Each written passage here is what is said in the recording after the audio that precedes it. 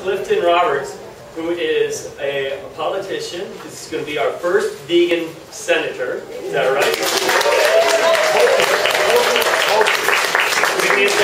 Yes. He, he was our first uh, vegan presidential candidate, uh, and we're. I'm just so thrilled to have somebody that, when we go to the polls, that somebody that we can we believe believe in somebody, and you know, it seems like we're always stuck with two candidates that we're not always totally thrilled about, that doesn't always have our best interest in mind, and I have a feeling he does. So, without further ado, Mr. Clifton Roberts.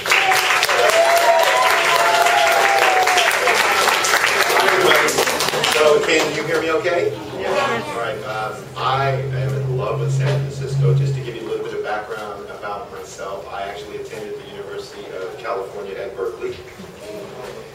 And uh, I was back um, maybe five years ago, I'm joking, uh, 1991, and I actually, uh, my first internship was with Lehman Brothers as a junior, and that's when I, at one point, made a decision that I wanted to be a stockbroker, because when I was on the floor interning, all they would yell out over the microphone is, Mike made $10,000 this week. And, you know, as a young 20-year-old uh, young man, of course, that appealed to me. And uh, so I just love San Francisco, and thank you for spending this 45 minutes with me. I appreciate it.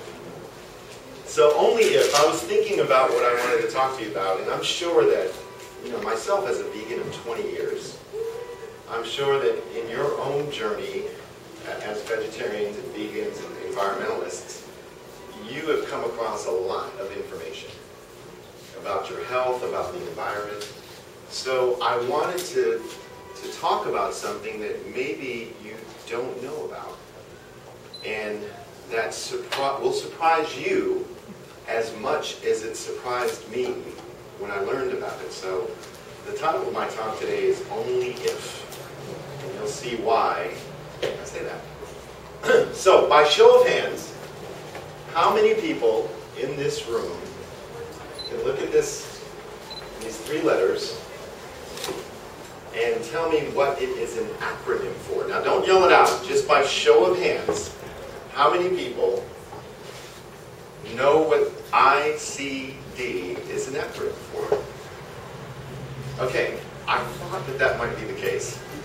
And as a matter of fact, this is incredible to me because to every single one of you in this room today, these three letters are almost everything.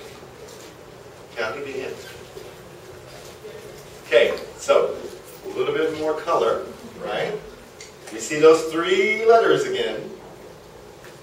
Does this help? How many people have any idea what this is? Okay, we have some ideas. What do you think? Has to do with the Say again? Disease. Disease. Okay. And someone back here, you're, you're saying it has to do with the heart. Okay, I'm, I'm so impressed.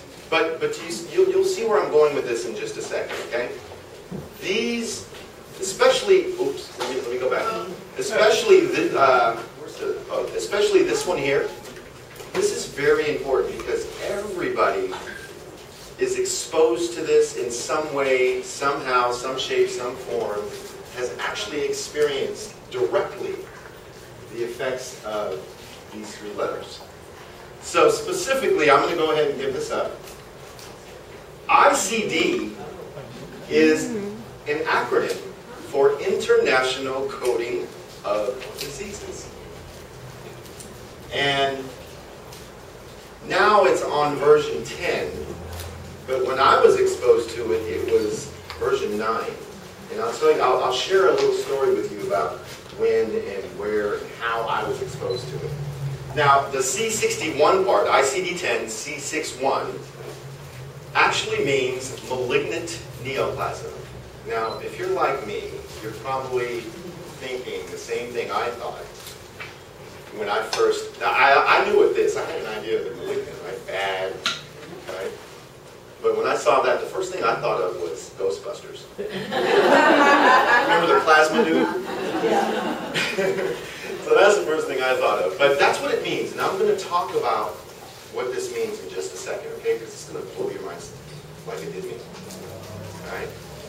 So why am I talking about this today? Why am I a former presidential candidate, a vegan, a guy who works at Intel Corporation? And by the way, my job at Intel for, uh, is senior manager of ethics and legal compliance.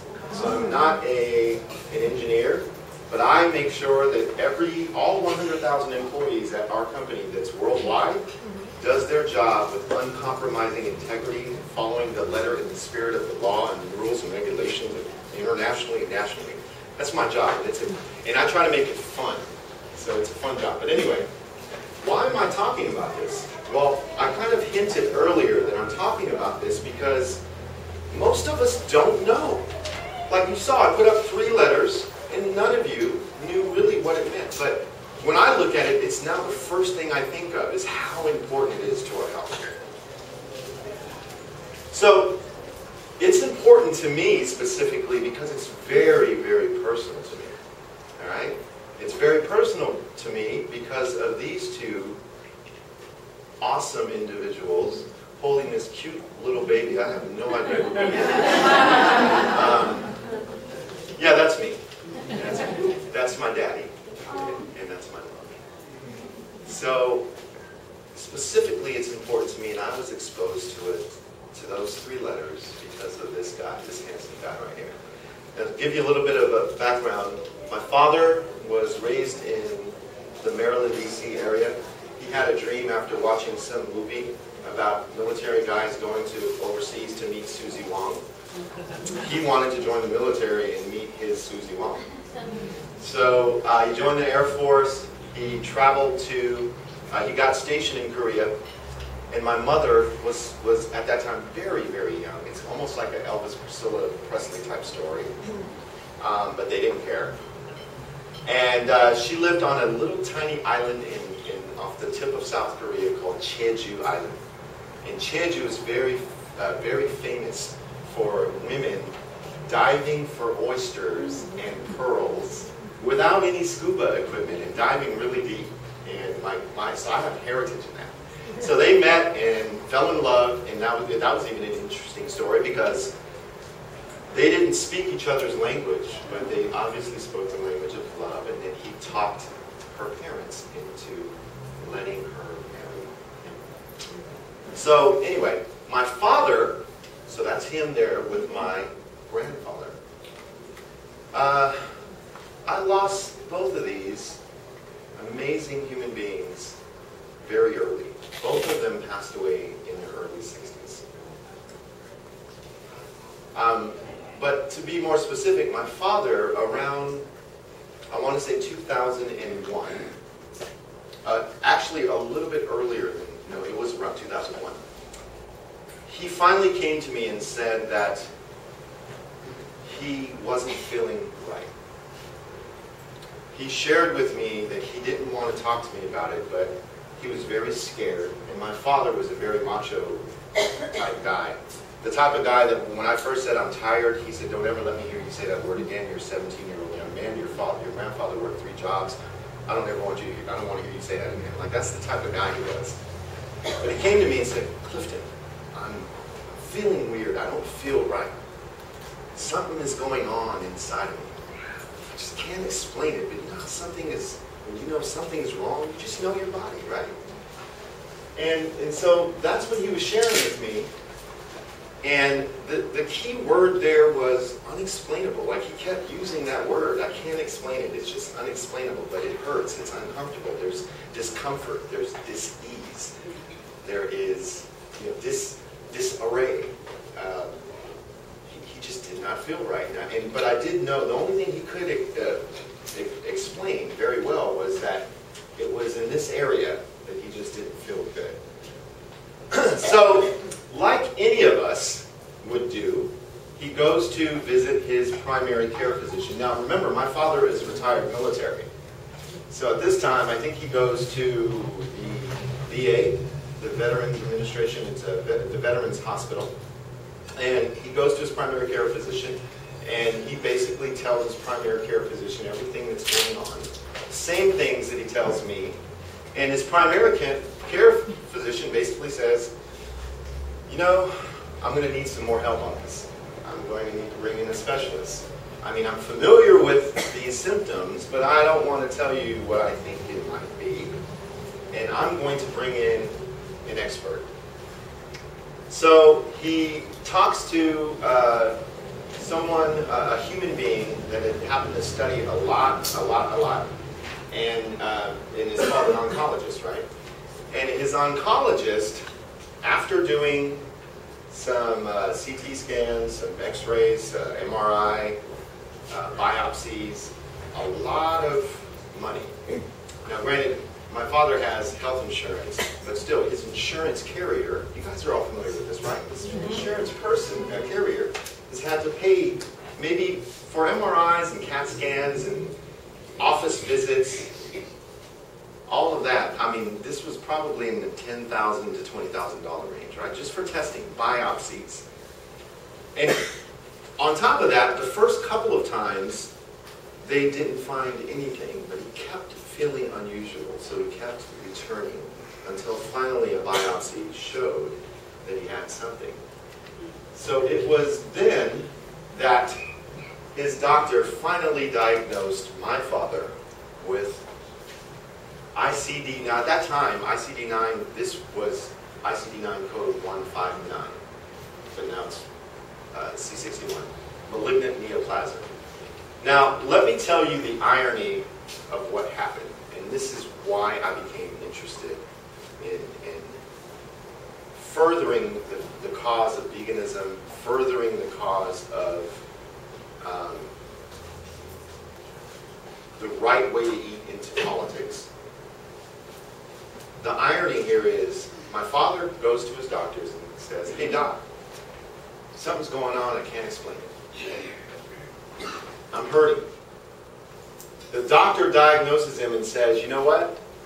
You are absolutely right. Malignant neoplasm means unexplainable growth in the living tissue. When I learned that, now let me tell you how I learned that. At the time, I was working at a place called HealthNet Federal Services. This is before Intel. I was recruited there from Nations Bank. I was a branch manager at Nations Bank. I managed an $18 million branch. It was consumer services. And uh, my claim to fame there was that I trained other branch managers very well. So I was recruited by HealthNet Federal Services, which is a subsidiary of HealthNet Inc. And HealthNet was the uh, Eastern Region Healthcare Administrator for TRICARE. Now, how many people in this room know what TRICARE is? What back there? What's TRICARE? Um, well, that was, that was the insurance we used in the military. Military, exactly. So they, they split up the United States into regions, and TRICARE is the health care that, that the military folks receive. So my job as senior manager of training and development was to train the customer service representatives, the enrollment representatives, the claims adjudicators, and the medical management personnel, which basically were nurses, that would figure out if, when a, when a private in the Air Force would call in if he needed a referral, my job was to train them to make sure that the, the military was receiving the best in-class care possible. That was my job. So when my father told me about this C61, which is at that time uh, 159, I looked it up. And I looked up malignant neoplasm, and I couldn't believe my eyes when it said, and so I asked him, I said, wait, Daddy, Daddy, I still call him Daddy. Daddy, let me make sure I get this right. You went to your doctor, you said you can't explain this, and he said, you're right, I can't explain it, but pay $10,000. He said, well, yeah, actually, that's, that's the way it went. So ultimately, um, I lost him in 2006. And um, he made me promise that at his funeral that it would be a party. So literally, I was the only one not crying. And probably people that loved me and loved him were wondering why I wasn't crying. But it was because I made a promise to him. And we did have a good time at his funeral. Uh, he's buried actually in Dixon at the Veterans Memorial uh, Cemetery again, the irony of a medical practitioner, and, in their mind, and in their hearts, they're doing the best job that they can, of a patient going to them and saying, I can't explain what's going on to me, on with me. And then the doctor coming back and telling them, yep, you're right, you have an unexplainable growth in the living tissue. And here are my set of procedures. Now there's pre-defined set of procedures for this type of, for a specific ICD, ICD-10, I gotta get used to saying that. Uh, ICD-10 code. So if it's, you know, if you break your arm, there is a predefined set of procedures, and that's actually how insurance companies bill you. Uh, or doctors bill insurance companies and you, I'm sorry, um, is they send the code, then they tell the insurance company, these are the set of procedures that we're going to perform. And then that's when the insurance company says, okay, that's approved, or no, that doesn't match. Um, but again, I, I, I love talking about this story, and I said, wow, what a, what a great opportunity to talk about this in front of you folks here who are here talking about you know, veganism and sustainable living and plant-based diets. So I titled this Only If because only if my father had discovered, discovered veganism as I did when I was 30, and I just turned 50 uh, on Sunday. Thank you. Um, yeah, I went vegan uh, at the age of 30, only if my father had been vegan. Only if he had not, over his life, uh, consumed meat. And my acronym for meat is muscle and epinephrine of animal tissue. That's my acronym. Because, you know, they- animals get killed, they get scared, just like all of us. We're faced with death. Our muscles are pumped with epinephrine, right? Well, there's no washing that out of an animal.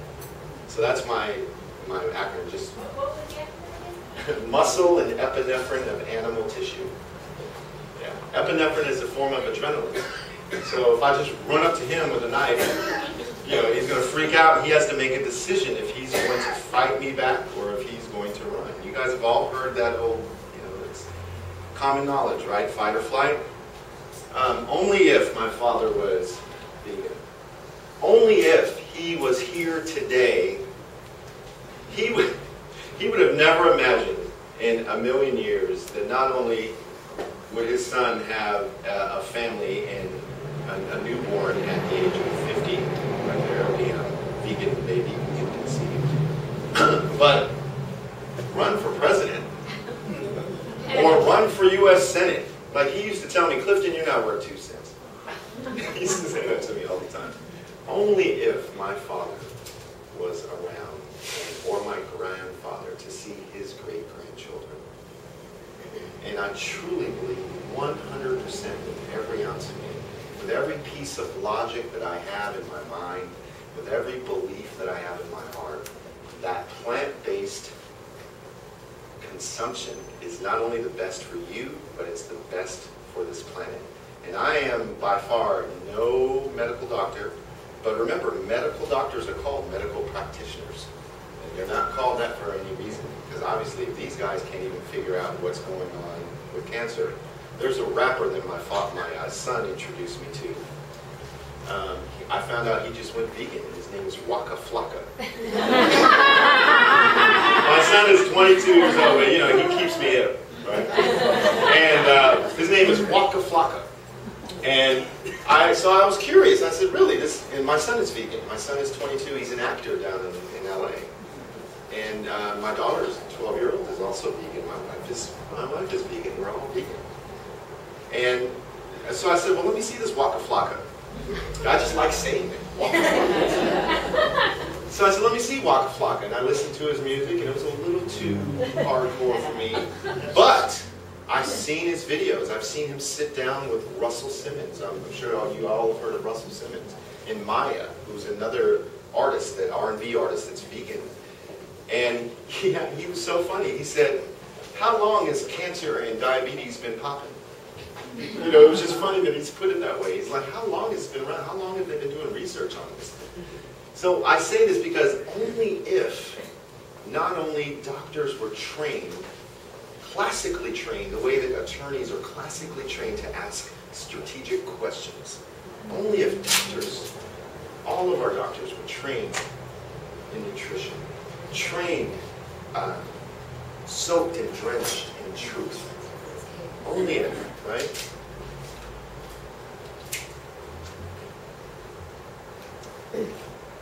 I'm going to be running for Senate in 2018. And as a matter of fact, there's a certain somebody in the audience who's the member of, a member of uh, the board of directors uh, for politi- the political party that I represent, which is the Humane Party.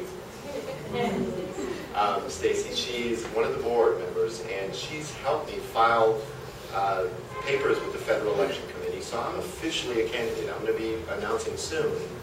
Um, but I am going to really go to bat for telling the truth when we make it into Congress, when I, as your voice, and the voice of animals, and the voice of our, our land, air, and water resources, and the voice of our planet, when I go in there, I am going to be the one that's going to start telling the truth. And it's what we did for our U.S. Uh, presidential run in 2008 and 16. Myself and the vice presidential running mate, her name was Breeze Harper, we told the truth. There was no skating around it. We weren't, you know, the Green Party, bless their hearts, but no one in the Green Party has to take an oath to live their lives according to humane values, and that's what every single candidate has to do. Um, so I'm not going to only talk about access to care. I'm not only going to talk about premiums or who is covered or are existing conditions covered. I mean, when you think about it that way, that's a morbid way to talk are existing conditions covered? Like, who are these people insuring? It's, it's, we should be talking about proactive ways to do it, talking about the truth, reversing disease and sickness. Um, or who is covered? You know, my son, in the recent debate, my, my son, I mean, this was actually a good thing for him, but I can cover him on my insurance until he's 26. Um, and then all the same insurance carriers, right? So my platform that is aligned very much strategically to the Humane Party platform is going to be addressing health, among other things. And I am not pulling out any punches when it comes to going to the Hill and talking about truth. Right? Using logic and common sense and not letting long medical jargon and words that are 50 characters in length uh, 50 characters in length. Top, um, excuse me, guys. 50 characters in length, they uh, confused me. All right?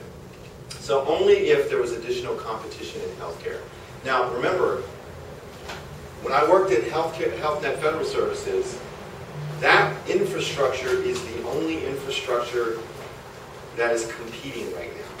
So if you picture Usain Bolt running a race, and he's always out here in the front. He crosses the finish line early, right? And the rest of the pack is right back here. Our current healthcare system is that infrastructure. Insurance, you're right here in the middle. Insurance, ICD-9 coding, CPT coding, then we pay the, um, we pay your medical practitioners, right? There's no other, no competition to this. This is it. And we've all accepted it. And you know how, how I know we've all accepted it? Because the majority of the people in this room have had no idea what even ICD meant.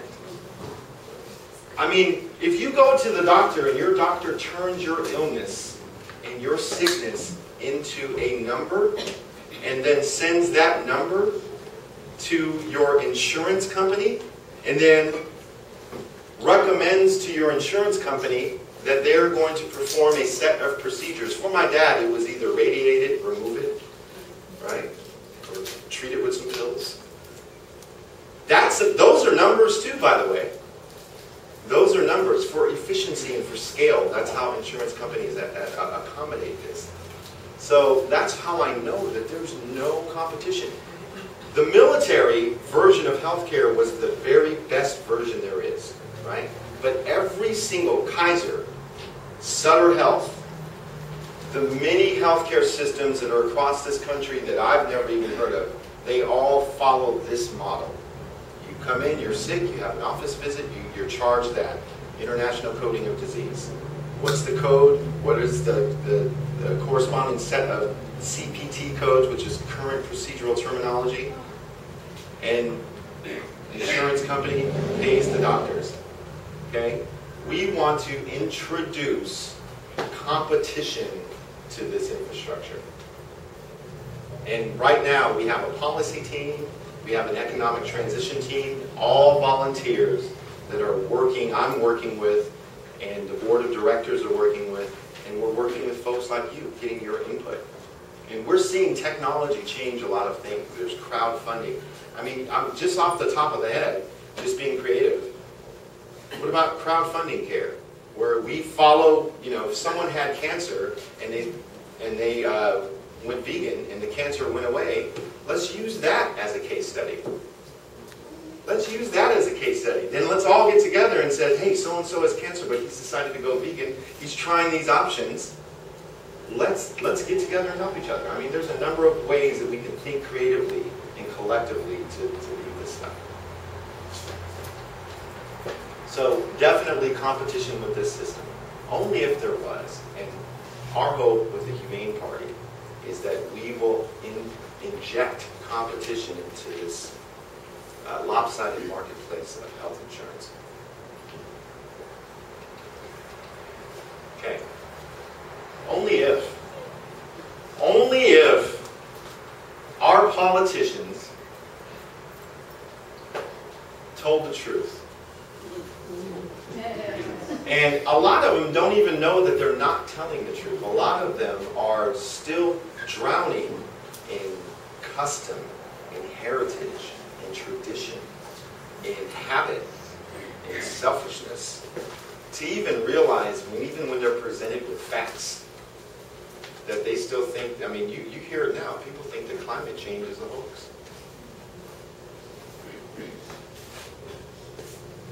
Uh, you know, there's, I, I was reading, have, have, have any of you ever just gone to the Center for Disease Control?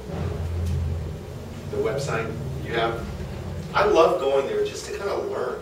You know, I, I, it is like a library, isn't it? Yeah, I, I literally, and so I went there recently. And I wanted to, in preparation for this talk, I wanted to figure out what the common uh, diseases were that led to death. And you have, in, in California, it's, it's heart disease uh, was, was one, and cancer was another one. Um, homicide, actually, was, was some, but and they actually meant, they actually mentioned prolonged consumption of animals. But they, they hide it in the, in the rhetoric of everything else that they're, they're publishing. They literally say prolonged consumption of animals. You know, I, I might have one word off, but literally I was surprised Is to see that that. page fifty or? Yeah, it might be 50 or 60, or I'm not sure, I don't know. But man, it, it, it is there. I, I went there and I looked at it and I was like, wow, why aren't we talking about that more? Why, why aren't we talking about this? Well, I intend, as, yeah, that's right, money, right? I mean, there's some, there's some tremendously powerful spe- special interests. Let me tell you, so powerful that when I ran for president uh, in 2016, uh, one of the founders of the party, his name is Shel Harrison, a brilliant, brilliant man. He wrote me one day and he said, you know, we had just published a rendition of the Abolition Amendment, which is a proposed constitutional amendment abolishing the torture, mutilation, slaughter of all non-human animals. Right? Oh, yeah. Yes, yes. We propose that. Um, and immediately after that, Shel, for the first time, I've never heard a worry in his voice. He said, Clifton, I'm worried. You know, watch, where you're walking to, watch your surroundings. And sure enough, I started to get emails threatening my life, wishing that I would, I would die. It was the first time ever um, I had ever experienced anything like that personally, where someone actually wrote me. And it's something I never shared with people because I wanted it to be a positive campaign. Ours was the campaign, I'm very proud of it. We, we probably got around 300,000 votes nationwide, which for the first time out, I'd never been a politician. Um, but it, it, it's amazing that when you focus on truth, we talked about money, that this, these are the things that are going to happen, but we need to talk about it. And in my presidential acceptance speech, I, I said that this is a platform that we all should live by. This is a platform that I would truly die for, because I have children. And one thing that people, especially non-vegans and non-vegetarians and non-environmentalists, is that they tend to look right here at the beginning of their feet when they're going through life. Where I would like to look beyond. 200 years from now, I'm still going to have children, but they're going to be my great, great, great grandchildren. But they're going to be of me. And I want this world to be wonderful. Um, so only if we started to tell the truth about animal agriculture and, and its effect on climate change, its effect on disease, its effect on world hunger, even hunger here. I was coming in through San Francisco, and it's not too different than Sacramento, where I, where I drove from. A lot of homeless people right there on the street asking for money. Um,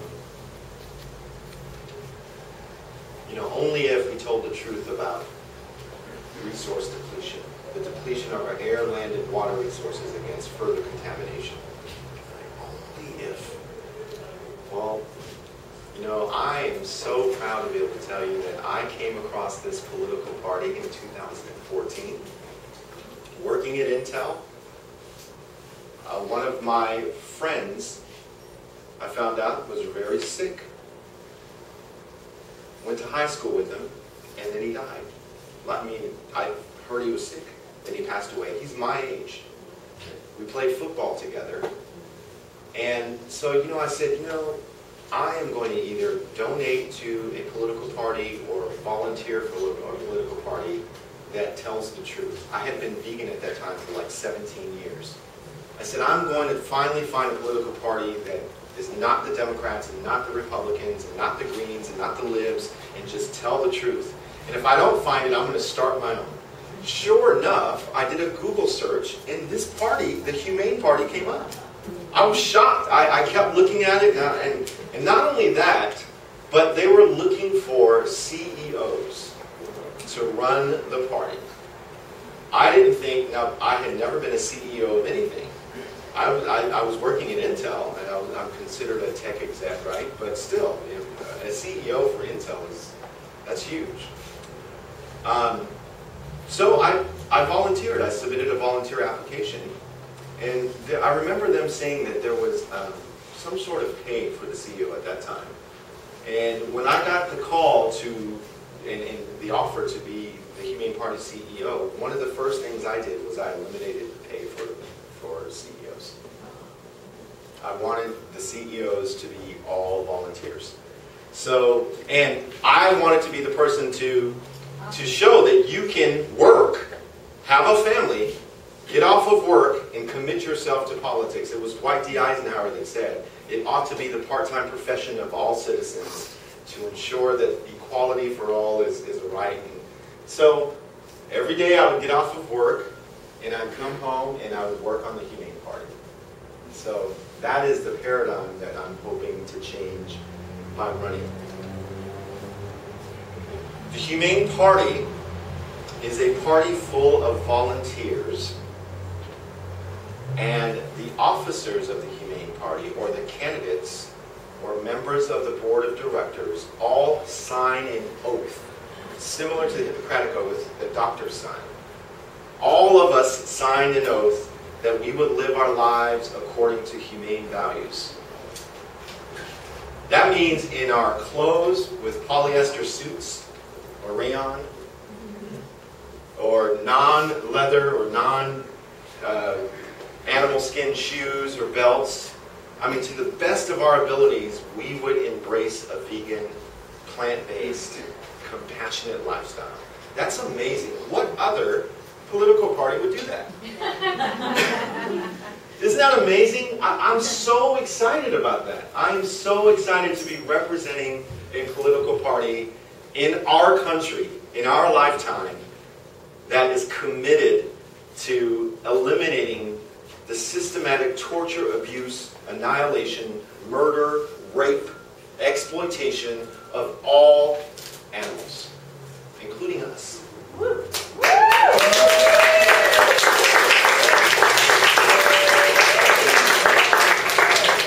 And I have not stopped. I am so dedicated to this party. There's a, there's a few more reasons why I'm, I'm dedicated to the Humane Party.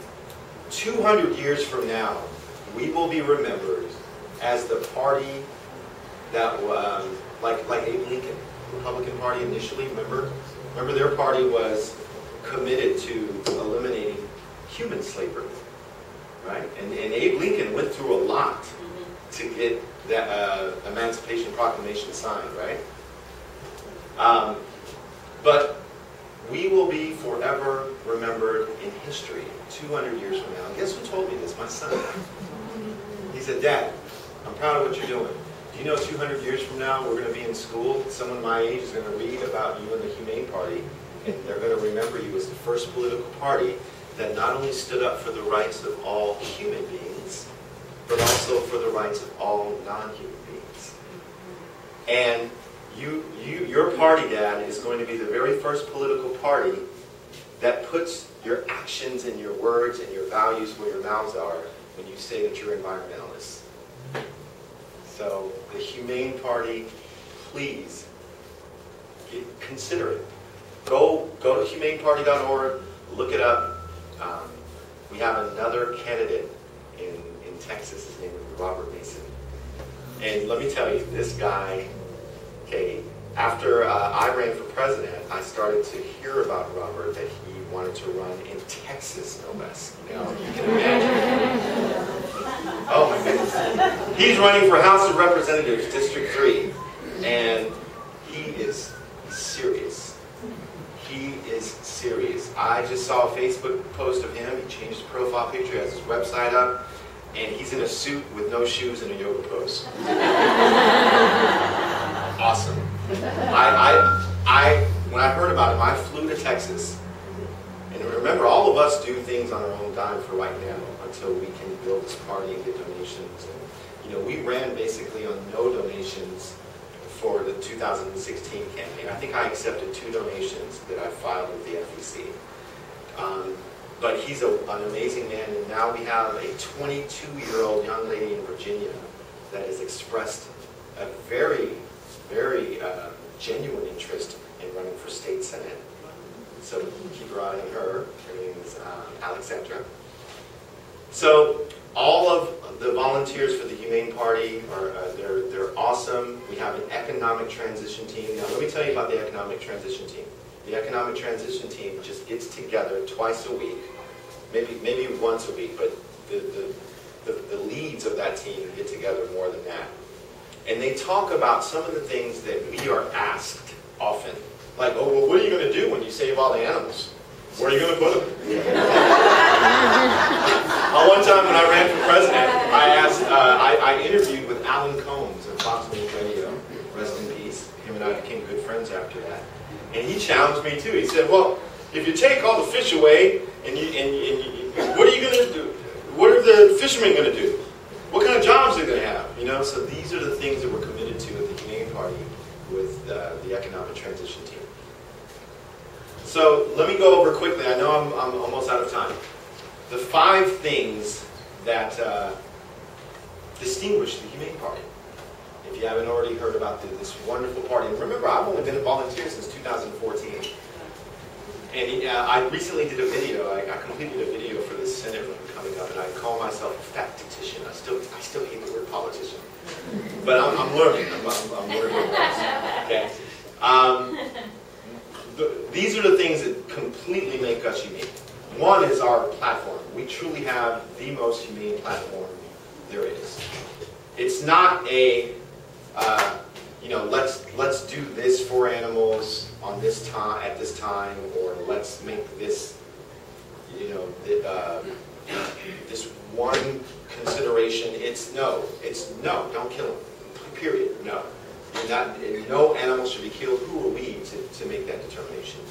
Um, we think that the, the most ethical path for America is the most practical path for America, right? And that exploitation of non-human animals is at the heart of all the environmental issues, economic and health problems of our nation and of our planet. And I would imagine that all of you in this room would agree with that. Animal agriculture is destroying our planet. Reason number two, I mentioned earlier, candidates live their lives according to humane values. And we all sign an oath, and those oaths are actually filed away for public consumption. So if you ever come across someone that says, I am a humane party candidate, and you say, well, where's your oath? They should proudly be able to give that, give you a copy of it. I don't know any other party that does that. And specifically in the oath, it mentions the word vegan, it mentions the word humane in their personal choices and their professional choices. So much so that I, I was ve- very relieved when I came across this party because I'm, I was thinking to myself, gosh, I'm going to have to change jobs. I mean, I love Intel, right? And um, Intel has an excellent corporate social responsibility record. Corporate, uh, very good, uh, uh, you know, human rights record as well. Uh, reason number three. So I mentioned earlier that we don't just say we care about the environment, but the members of the Humane Party, right, Stacy? We put our, our, our values and our actions where our mouths are. You know, where sometimes, you know, we, we have these. Uh, I'll give you an example. The city of Elk Grove had the nerve to put a notice on our neighborhood that told us how long of a shower we should take and when we can water our grass. And I saw that, and you literally can go down the street, down I 5, and see water on all day watering these cows. I mean, it's just crazy. Uh, you know, we serve as a new benchmark for all other political parties and even the United Nations. You guys have seen that report. Okay? Our health care plan is going to be the best in the nation. We've already set the foundation for a, health care plan that is going to be based in truth. And I love this one. The solution allows for our nation's natural resources, including our land, air, and water resources, to serve as a source for economic strength and national security. Our economic transition team has already made some outstanding proposals. So only if there were more Humane Party candidates. Remember, the Constitution says that if you're a certain age, you can run for Senate, you can run for the House of Representatives, you can run for the President. I remember when I called Breeze Harper. Breeze Harper is a PhD. She's a vegan, and I used to just see her Facebook post, and I thought she was outstanding. She's, uh, she's dedicated to intersectionalism in, in, in how we eat. Uh, been a vegan. She's married to a physicist from Europe. And uh, I just called her out the blue, and I said, hey, hey, would you like to be my running mate for U.S. president? I read some of the same articles we did for VegNews.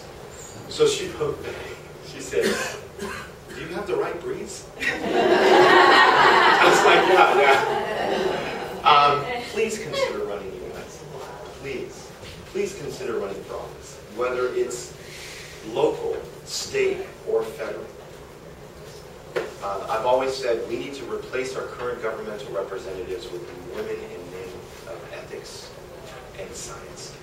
And we'll help vegans. Yes, we will help you. And these are the numbers, remember. To approve the abolition amendment, these are the numbers that we need. So we just need to, to fill a majority in the House of Representatives and fill a majority in Congress and get a U.S. president that's vegan. And, and, I'm, and, and only if we leverage all of our collective and compassionate intelligence to finally, remember, we're already figuring this out, and the politicians have not. Now, logically to me, I'm a logic guy. If we figured it out and they have not, we're smart. okay? Um, I'm going to end it with, with one quick story. In high school, I wanted to go to University of California, Berkeley. I just moved from Japan. My father said, come live here. If you live here for a year, college will be cheaper. I checked out the school, UC Berkeley. I said, Dad, no, I heard of UCLA. No, don't go to that. I want you to go to UC Berkeley. Went to, I came here, went to high school, Abandoned High School in Fairfield. 12th grade, I had a 3.8 GPA. Okay, I scored maybe uh, 1,400 on my SAT at the time, and I told my counselor I wanted to go to Berkeley. He's told me, well, let me get you on this tour for Solano College. I think it'd be a better option for you. Um, you just, I I don't know, Clifton. I don't think you'll get, I don't think you'll get um, admitted. And that next semester, I was going to Berkeley. Three of the people. Um, I'm, I'm sharing this with you because I'm a person, I don't care if I lost to Trump last year. I don't care that I would, if I lose to Dianne Feinstein this year. I have it in me now to represent you and represent the animals, and I hope to earn your vote. Thank you.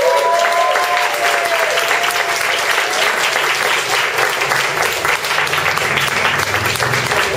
And, uh, Clifton, uh, we'll have to get the new speaker in here, but if you want to spend a few time answering questions or talking to people, we have a table outside. Thank you. I didn't know.